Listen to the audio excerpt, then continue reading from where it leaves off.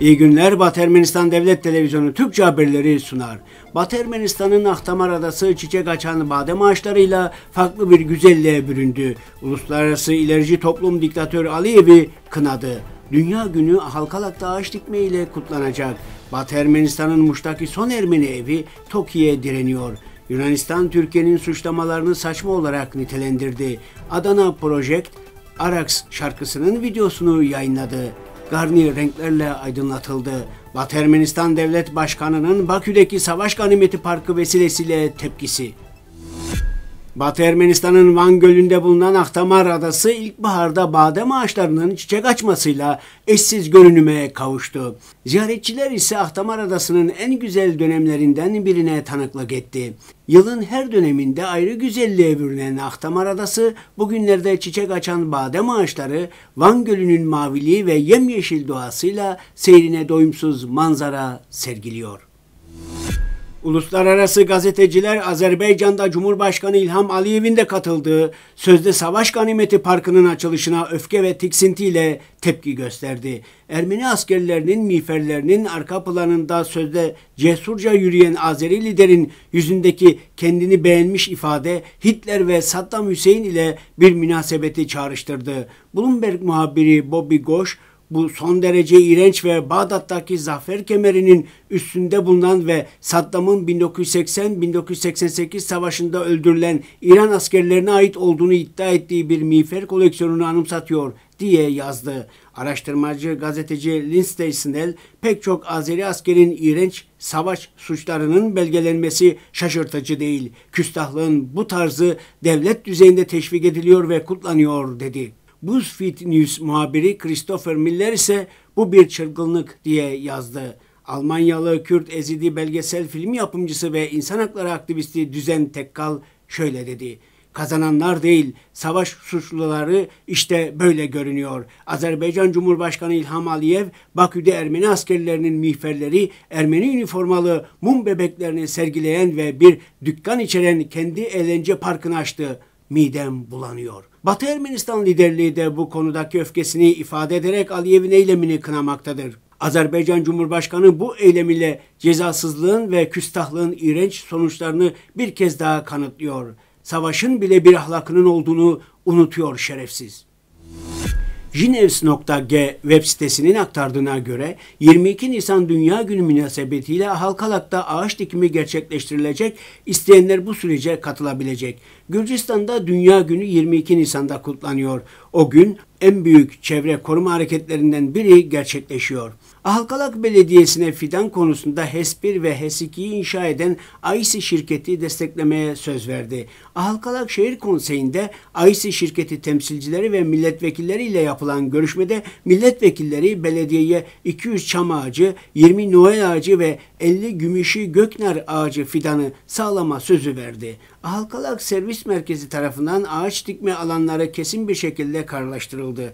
Servis Merkezi'nin müdürü Armen Bıçakçıyan'a göre Hasbahçe'de 20 gümüşü gökner ağacı ve Viçiyan yolunun her iki tarafına da 200 çam fidanı dikilecek.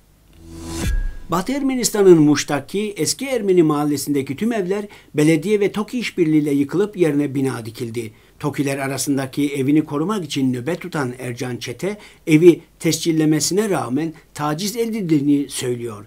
TOKİ yetkilileri her ne kadar zaman zaman evi yıkmak için çaba harcasa da evde doğup büyüyen Ercan Çete buna izin vermedi. 1915'teki katliama kadar yoğun Ermeni nüfusunun bulunduğu Muş'ta Ermenilerden geriye kalan yapılar da siliniyor. Yıkıma karşı verdiği mücadelede yalnız bırakıldığını ve sesinin duyulmadığını ifade eden çete bir süre sonra evi tarihi yapı olarak tescilleyebildiğini söyledi. Batı Ermenistan Devlet Başkanı Armenak Abrahamyan'ın Batı Ermenistan'a yaptığı gezilerden birinde bu evi ziyaret ettiği ve evin sahibiyle görüştüğünü hatırlatalım. Yunanistan Türkiye'nin suçlamalarını saçma olarak nitelendirdi. Yunanistan Dışişleri Bakanlığı yaptığı açıklamada kabul edilemez yalan haberlerin aracılığıyla Yunanistan'ın imajını lekelemeye yönelik her türlü girişimi şiddetle reddediyoruz dendi. Daha önce Türkiye Cumhurbaşkanlığı Sözcüsü Fahrettin Altun, Yunanistan'ın sözde terör örgütü Kürdistan İşçi Partisi PKK'ya yardım ettiğini söylemişti. Eski veya unutulmuş Ermeni etnografya, halk, pop şarkılarını yeni bir şekilde geliştirip sunan rock grubu Adana Project, internette artık yer alan Arax şarkısının klibini hayranlarının beğenisine sundu. Armen Press'in haberine göre grup bu video Artsak'tan göçe zorlanmış aileler için para toplamayı amaçlayan Londra'daki Ermeni Yaz Sanal Festivali için Adana Project tarafından çekildi dedi.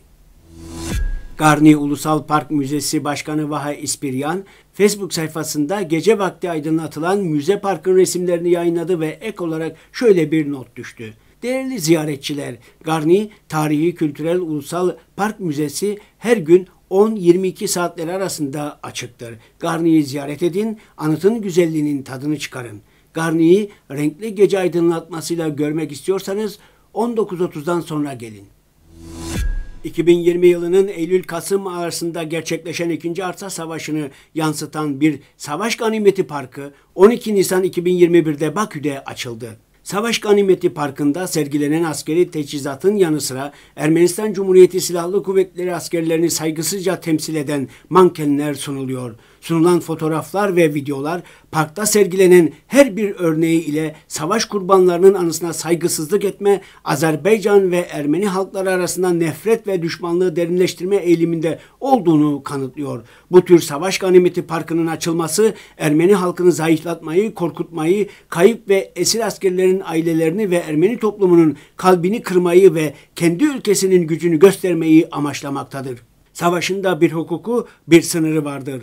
Böylesi görgüsüz, böylesi cahil, böylesi edepsiz, kaba bir adam devlet yönetiyor. Batı Ermenistan Cumhuriyeti Devlet Başkanı Armenak Abrahamyan sosyal ağlarda yayılan fotoğraf ve videolara derin bir analizin ardından yanıt verecek.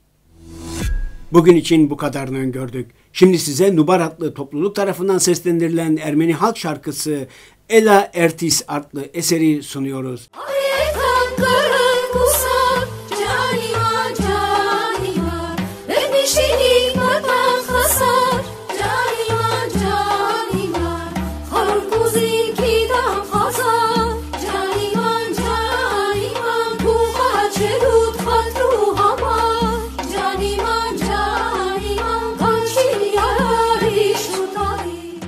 Eserin tamamını Batı Ermenistan Devlet Televizyonu'nun resmi sitesinden izleyebilirsiniz. Hoşçakalın.